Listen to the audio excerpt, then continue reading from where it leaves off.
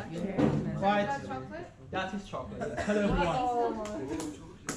So today we are learning how to measure the speed of light in the kitchen. Okay? Late students. After six months you don't know your timetables. Okay, you That's how genius you are. Wait. How do you call it in Arabic? Zaki. Yes. Ah, that's you.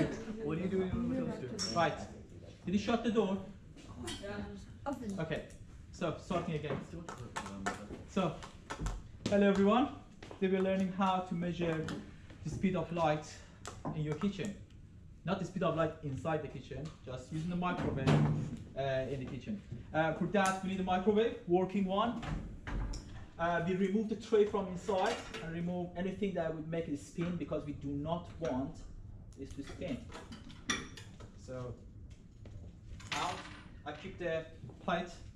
Uh, two blocks of chocolate I have. If you have one big chocolate, that's fine. You can use a block of cheese too.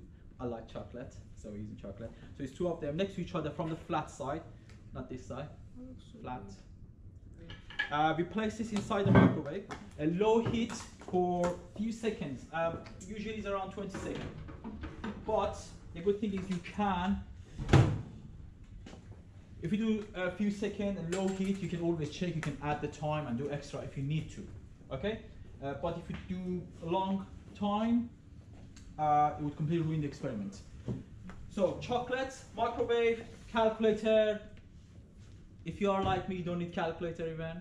And uh, ruler to measure the wavelengths. So who remembers how do we measure the speed of light? What's the formula for it? Um, frequency times the wavelength. times. Uh-huh. Frequency times wavelength. Uh, that's the speed of wave. So we talk about the light now. Uh, so chocolate inside. I'm starting with is like 30 seconds, but I will stop it when it's around 20. Sir, Yes. can we eat the chocolate? Can you, you already think you about want to eating eat the chocolate? chocolate? Yeah. We might. So it's been 15 seconds.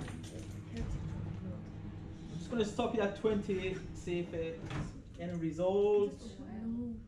I'm getting some result, but I'm gonna leave it for longer. What were you thinking about chocolate? I mean, I had breakfast this morning. No. No.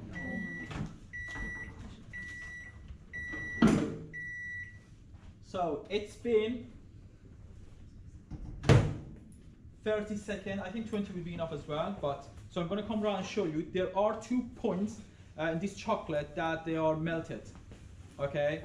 So have a look. This point, this point. See these ones? Nothing happened anywhere else. Let me show it to camera and then show it to you. Yeah. So what do you think those points are? The wave. The waves. Which part of the wave? The The crest and the trough. Peak and the Peak. trough. Pick and cross. So I'm going to measure this. Okay. Uh, these two are peaks and troughs. That's correct. Okay. They are the point we have the highest amplitude, either positive or negative. Um, so if I measure this, is this the full wavelength or not? This is a half. So I'm going to measure. Okay. So because you can see the wide area is melted, so you just do the center to the center. Okay. So from the center to center, I have like six point two, let's six, let's say six, six centimeter. Okay. So so far we have six centimeter. Someone wants to have a calculator to do the measurement. So six centimeter, we have to times it by two. That would be our full wavelength, which is 12 centimeter. Yes. But don't forget, we have to convert it to meter.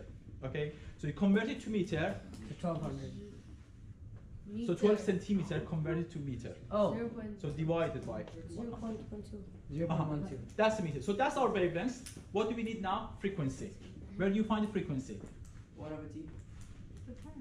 But you don't have the T. How? Time. 20 seconds. Time. 30 no, no, seconds. no, no, no. Time period got nothing to do with this time. Oh. That's different things. That's Oh, isn't it 1 over 30? Okay, yes, microwave frequency is correct. Where do we find it? In the back of the microwave.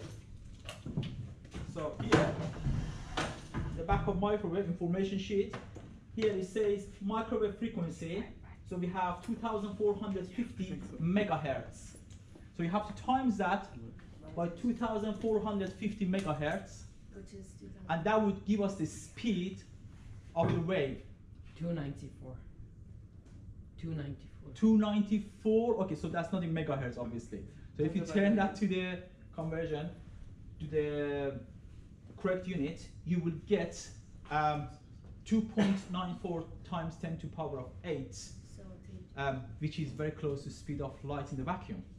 And that's the speed of these microwave waves. But remember, we see- did say electromagnetic waves, they all have the same speed. So that's the speed of light. In your kitchen. Yeah? Wait, what? That's the speed of light because the same speed as microwave has the same speed as light. All electromagnetic waves. So do all So- microwaves have the same frequency? Um, no, so the, they don't. You just make sure you So check in the back. so not all light has the same. No, so different microwave would have a different wavelengths, different places in the uh, distance and the chocolate will be melted. So that means that the speed of light isn't always the same. Always the same. Always the same. So any microwave you use, any chocolate, as long as you measure them accurately and put in the formula, you will get the exact same result for the speed. Okay? Simple as that. Uh, as I said, you can use for cheese as well. Cheese would melt too, or pizza, but make sure it doesn't spin. So we The reason, the reason that this spins is um, so we have all part of the food can get heated. But if you don't turn it, you just leave it there without spinning. Only certain parts, like where the microwave hits. Sir, Can we pause this and then? Any question on this? Yes, can we eat the chocolate? I knew you want to say that. Microwave